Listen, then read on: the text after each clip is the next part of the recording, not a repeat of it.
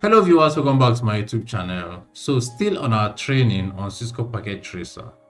In today's video, we'll be looking at the device configuration tabs. So we have different tabs used in configuring our devices, but we're looking at the four major and most used tabs. The first is the physical tab. The second is the config or configuration tab. The third is the CLI or command line interface tab. And the last that we'll be looking at today is the desktop tab. The physical tab. Now, the physical tab provides an interface for interacting with the device, including powering it on or off or installing different modules such as wireless network interface card NIC.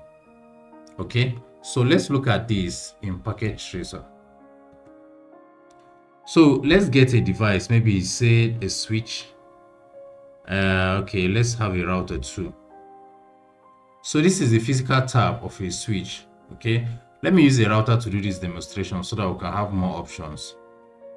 So let's click on this router. So if you watch, we are under physical tab, okay? So this is the physical tab of a Cisco router. Now, if you watch under here, we have different modules that we can install on this router.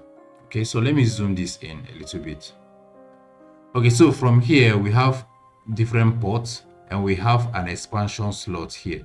So on this expansion slot, we can install whatever kind of module we need. So if we click on any module here, we are going to see the description here and also the type of module which we have clicked in this part of the screen. Okay, so for example, let me click uh, this GLCT. Okay, so you will see the description of this particular module and also it will appear down here. Okay, so we can also click on other ones and see the effects. All right. Now, if we want to have more computers connected to this router, we need more switching ports.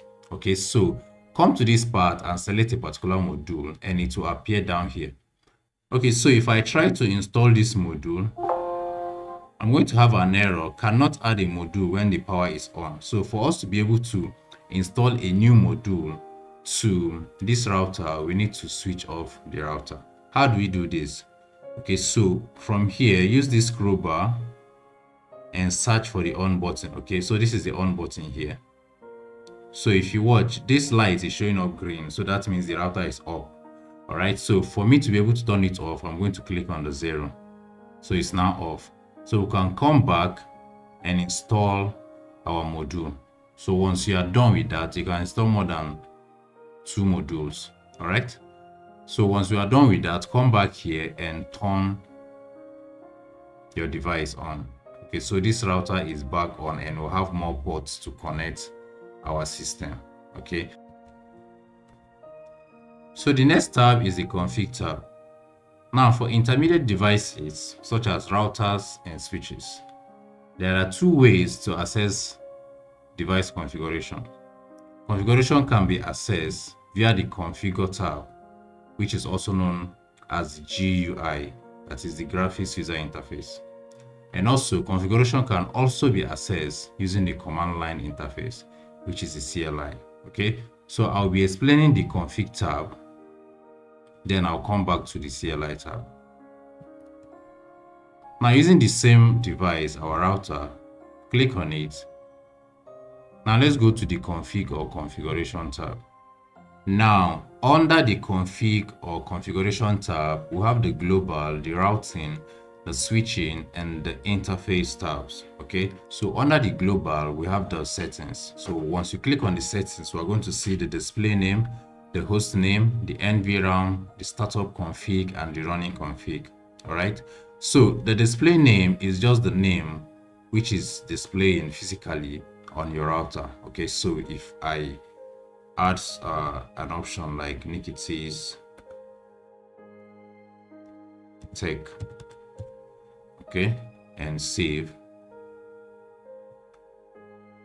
so it's going to take effect here. So the host name is the name used to identify your device on the network okay? So this particular router host name is router AA so we can change it to uh, say router 1 save okay so once we do that the host name is going to change automatically okay the NVRAM is the RAM at which all your devices are being saved on okay? So we have the startup config and the running config.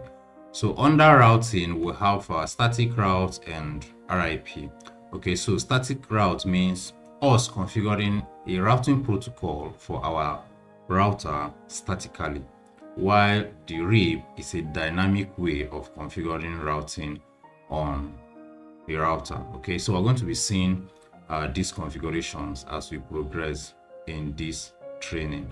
Okay so we have switching and also we have different interface. Now so these are all the interfaces we have on this router. So we'll talk more on interface as we progress. So next is the CLI CLI stands for command line interface. The CLI tab provides access to the command line interface of a Cisco device. Using the CLI tab requires knowledge of device configuration with IOS here you can practice configuring Cisco devices at the command line CLI configuration is a necessary skill for more advanced networking implementation. Let's get back to packet tracer. Now, if we go back to our router, so let's click on CLI. Now, this is the command line interface of this router. Okay, so here we can do different configurations, say changing of the host name, okay so we can say like uh, host name. Let's say m2 okay so if you watch the host name have changed automatically. Okay so we can give our ip address. We can change interface.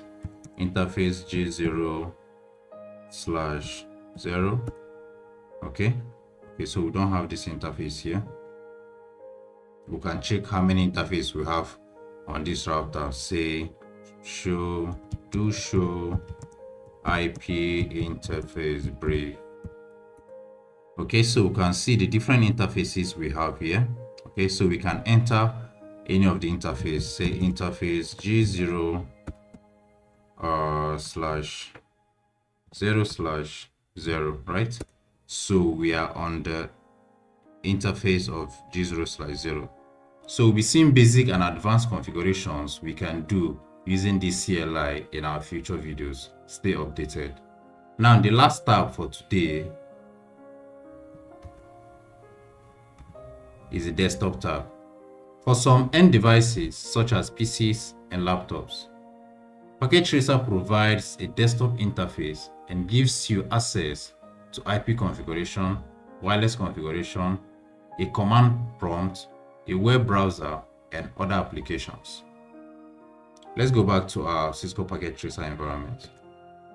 So using a PC, let's get a PC here.